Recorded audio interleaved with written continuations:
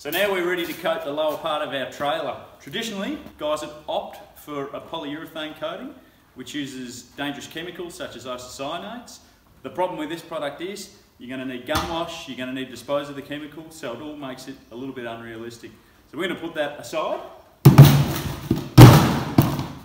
What we've got here is the bully liner, which is a non-dangerous goods, water-based, which makes it a lot easier to use. It actually uses recycled rubber tyres in it.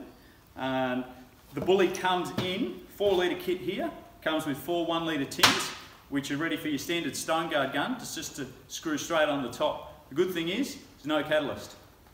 So all we do, shake the tin, already done that. Screw this guy on.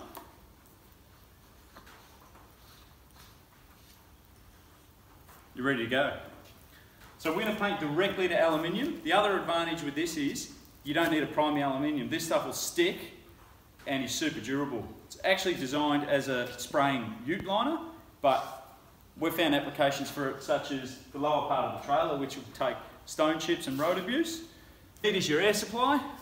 Plug it in. We wipe this down with a wax and grease remover, so it's all clean. There's no dust, there's no oils on it. And now we'll start.